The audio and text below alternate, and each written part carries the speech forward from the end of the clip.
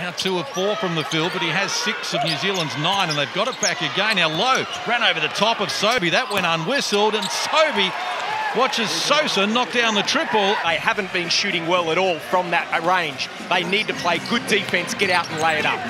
Sosa pushes Shorter away and somehow controlled his body to knock it down, and he's smiling at him. Grabs the loose ball rebound.